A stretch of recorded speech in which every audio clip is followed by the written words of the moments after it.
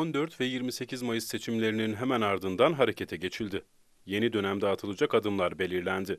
Çiftçiden asgari ücret çalışanlarına kadar vatandaşın rahat bir yaşam sürmesi için müjdeler ard arda geldi. Memur ve memur emeklileri için yapılan düzenlemede sona gelindi. memur maaşları ile ilgili düzenlemeyi bayram sonrası hızlıca meclisimizin takdirine sunacağız.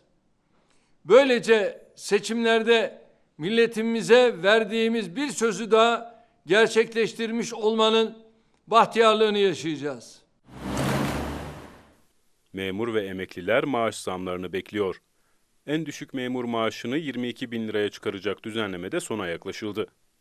Cumhurbaşkanı Yardımcısı Cevdet Yılmaz'ın başkanlığında Hazine ve Maliye Bakanlığı ile Çalışma ve Sosyal Güvenlik Bakanlığı bürokratlarının bayramdan sonra teklife son şeklini vermesi bekleniyor. En düşük memur maaşı 22 bin liraya yükseltilecek. Diğer memurlar için göreve, unvana, dereceye ve mesleki kariyer kriterlerine göre kademeli artış bekleniyor.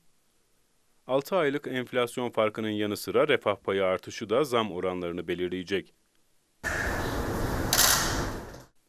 Memura yapılacak olan zam doğrudan memur emeklilerine de yansıyacak. Ayrıca en düşük emekli aylığının 7500 liraya yükseltilmesinin ardından yüksek prim ödeyen emeklilerin mağduriyetini önlemeye yönelik bir düzenleme de bu teklifte yer alacak. Düzenlemenin Temmuz ayının ilk haftasında meclise sunulması bekleniyor. Teklif komisyonda görüşüldükten sonra genel kurulda ele alınacak.